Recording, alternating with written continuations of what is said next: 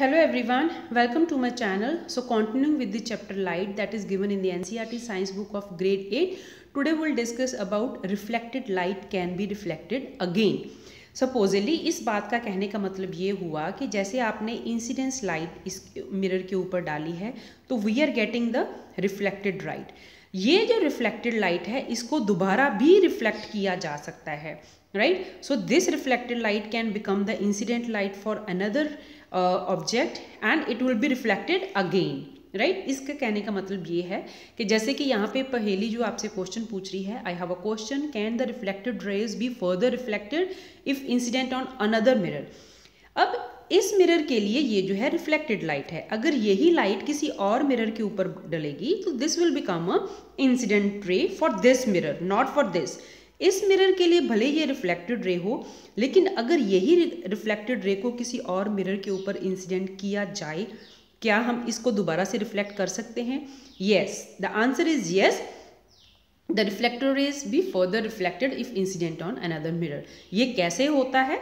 ये आपने बहुत बार सलून्स में देखा होगा जब जो है लोग अपने बाल कटवाते हैं। जैसे कि आप पिक्चर में देख सकते हैं कि ये जो है, इस लड़की की जो बैक है, यहाँ जो, ये कह सकते हैं कि इसका जो हेयर स्टाइल है, इसको यहाँ पे दिखाई देगा राइट तो कहने का मतलब जो इस मिरर ने रिफ्लेक्ट किया, वो इस मिरर के ऊपर इंसिडेंट हुआ और उसने फिर इसको रिफ्लेक्ट कर दिया। तो means reflected light can be reflected again ये होता कैसे है? Let see recall the last time you visited the hairdresser जैसे कि मैंने आपको बताया हेयर कटिंग में जो है जितने भी पार्लर्स वगैरह होते हैं, वहाँ पे इसका बहुत ज़्यादा, इस फिनोमिनन का ज़्यादा उपयोग होता है क्योंकि mostly the people are very beauty conscious और वो जो है अपने आप को अच्छे से हर शीशे में देखना चाहते हैं। कैसे? She makes you sit in front of a mirror जैसे कि आप इस पिक्चर में देख सकते हैं, जो बाल काटने वाला है, उसने जो है अपने कस्टमर को चेयर पे बिठाया हुआ है। After your haircut is complete जैसे ही आपका हेयर कट कंप्लीट हो जाता है she hold a mirror behind you to show you how the hair has been cut तो इस सिर की बैक जो है, इसको दिखाने के लिए कस्टमर को जो है तो ये जो है पार्लर वाले क्या करते हैं, आपके पीछे एक मिरर रखते हैं right to show you how the hair had been cut do you know how could you see the hair at the back of your head तो आपने अपनी पिछले वाली इमेज कैसे देखी? पहली recalls having constructed a periscope as an extended activity in class six तो आपने क्लास सिक्स में क्या किया था? एक पेरिस्कोप की एक्टिविटी ज़रूर की होगी आपने। तो होता वहाँ पे क्या होता है कि यहाँ पे जैसे कि ट्री है ना तो यहाँ पे बहुत बड़ी दीवार है, लेकिन आप जो है इस दीवार को आगे टाप नहीं सकते। You want to see from this height but you are at lower height so how you will be see तो पेरिस्कोप का मतलब यहाँ होता है कि यहाँ पे एक मिरर लगा होता है जिसपे जो है इंसिडेंट रे लग, आती है। और फिर यहाँ पे एक मिरर लगा होता है। फिर ये जो रिफ्लेक्टेड रे है, इसके ऊपर जो है अपनी इमेज बनाती है।